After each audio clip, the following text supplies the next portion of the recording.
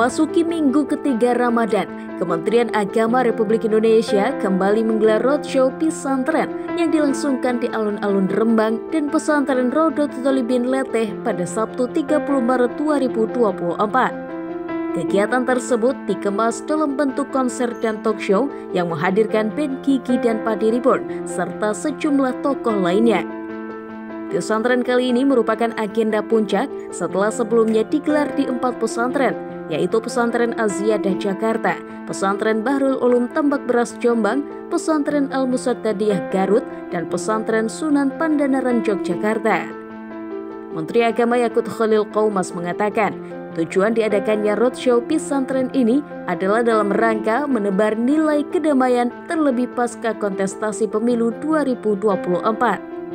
Ia berharap agenda tersebut dapat memperkuat ikatan persaudaraan dari semua kalangan mengembirakan jadi pesantren ini kan memang kita desain sebagai sebagai bagian kalau istilah teman-teman kepolisian itu cooling sistem dari proses pemilu yang cukup panas kemarin.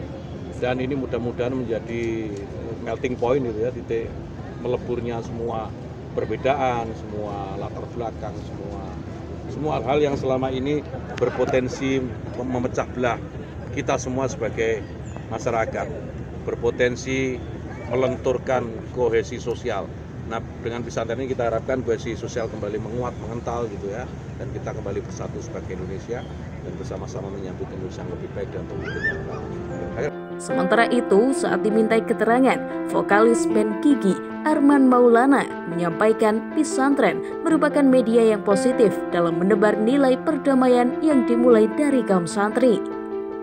Ia melanjutkan, pesan damai itu sangatlah penting mengingat akhir-akhir ini pesantren tengah menjadi sorotan publik dari sejumlah kasus yang dilakukan oleh oknum. Oh bagus ya konsep yang bagus. Ya kebetulan kan kalau Gigi pernah jalanin 15 tahun ya dulu waktu ngabuburit gitu. Uh, terus tiba-tiba tahun ini uh, kita diajakin sama Kemenak untuk lima titik. Ya mudah-mudahan sih bisa terus ada tiap tahun. Uh, titiknya makin banyak gitu. Karena emang uh, banyak isu-isu yang, yang yang memang bisa disampaikan juga di, stage itu. Damai sih, damai, damai. Karena uh, kan nih kemarin ada kejadian misalnya di pesantren ada ada beberapa yang yang yang, yang kita kita kita kita apa sebut oknum gitu. Terus juga bukan hanya pesantren, uh, pembulian dan sebagainya. Terutama buat generasi muda. Jadi memang si uh, apa namanya pesan damai dari pesantren tuh saya kira pas bukan hanya buat dari pesantren tapi kayak di luar pesantren juga damai karena emang udah rada darurat sih. Menurut saya sih udah darurat. Pesantren itu adalah benteng untuk menjadikan uh, negara ini makin kuat. Karena bukan apa-apa. Uh, kalian di pesantren itu kan fondasi uh, pertama itu kan agama. Itu yang dibutuhkan gitu. Karena kalau siapa pun dia pintar dia kuliah di mana pun di luar negeri tapi kalau ahlaknya tidak ada ahlaknya nggak bagus sama membohong nah, saya kira pesantren uh, insya Allah yang keluar dari pesantren ahlaknya bagus bagus. Jadi insya Allah Indonesia juga akan kuat Senada dengan Arman, gitaris band Padi Satrio Yudi Wahyono atau Piu menyebut agenda kali ini terasa spesial dan membekas baginya karena ia bersama rekannya di band Padi diberikan kesempatan silaturahim dengan Kiai Haji Ahmad Mustafa Bisri atau Gusmus. Terlebih, Piyu merupakan pengagum sejati Gusmus sejak lama. Ia meneruskan, agenda-agenda seperti ini harus rutin dilaksanakan dalam rangka merawat Indonesia. Ya agendanya kali ini spesial karena penutupan ini kan. Kita yang hari ini kita ada di Rembang dan uh, kita diberi diundang diberi kesempatan untuk mampir ke kediaman Gusmus dan juga ke depan rumahnya Gusmet jadi uh, ini karena kita baru pertama kali juga di Rembang ini jadi nggak bakal kita bisa lupakan. Saya termasuk dulu yang selalu apa mengidolakan termasuk Gusmus uh, apa namanya uh, terutama dari karya-karya beliau puisi dan apa namanya karya-karya tulisnya beliau kan luar biasa sekali.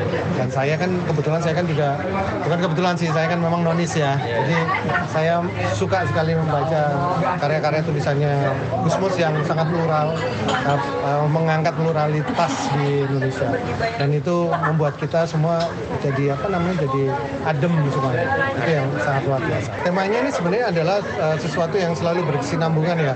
Karena tema damai, tema uh, apa namanya menjaga kerukunan ini memang yang selalu harus selalu kita jaga, harus selalu kita bawa selalu dalam hati kita, selalu membawa harmoni dalam kehidupan kita supaya ya ke depannya Indonesia akan menjadi lebih baik lagi dengan mengangkat perdamaian, dengan mengangkat kedamaian uh, dan juga apa harmoni di antara uh, berbagai macam uh, suku bangsa, berbagai macam agama yang ada di Indonesia. Ya buat para santri di seluruh Indonesia supaya jangan takut untuk bermimpi, jangan takut untuk uh, merealisasikan merealisasikan mimpi tersebut karena uh, di situlah letak kesuksesan kita sebagai santri santriwati Indonesia. Usai dari alun-alun, acara dilanjutkan dengan buka puasa bersama dan ramah tamah di kediaman Kiai Haji Ahmad Mustafa Bisri.